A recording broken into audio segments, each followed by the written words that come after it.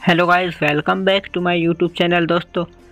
आज royal challengers Bangalore women versus Mumbai Indians women's के बीच आई वुमेन प्रीमियर लीग का मैच खेला जा रहा था और दोस्तों, इसमें पहले बैटिंग कर रही थी आरसीबी टीम दोस्तों आरसीबी टीम की शुरुआत अच्छी हुई बट वह शुरुआत ज़्यादा देर तक नहीं हो पाई क्योंकि दोस्तों, अब स्मृति मंदना आउट हो चुकी दोस्तों, इससे पहले सूफी डिवाइन आउट हुई थी और दोस्तों, अब स्मृति मंदना भी आउट हो चुकी मात्र तेईस रन बनाकर और दोस्तों, इसके बाद मुंबई इंडियंस की टीम काफ़ी खुश थी और दोस्तों, सबसे ज़्यादा खुश थी हरमनप्रीत कौर।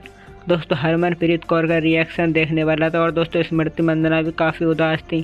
क्योंकि दोस्तों, उनको पता था, उनको ये शॉट खेलने की कोई ज़रूरत नहीं थी, क्योंकि दोस्तों, इससे पहले दो विकेट गिर चुके थे बट स्मृति मंदना ने गलत शॉट खेला, जिसकी वजह से वह आउट हुई और दोस्तों स्मृति मंदना का रिएक्शन आप देख सकते हो कि वह कितनी खुश दिखाई दे रहे हैं। दोस्तों, आपको क्या लगता है, ये मैच कौन जीतने वाला हमें कमेंट्स बॉक्स में ज़रूर बताएँ। अगर दोस्तों, आप आरसीबी टीम या मुंबई टीम के किसी एक के भी फ़ैन है तो चैनल को सब्सक्राइब ज़रूर करें। तो फ्रेंड्स मिलते हैं नेक्स्ट वीडियो में। तब तक के लिए bye bye and take care my all friends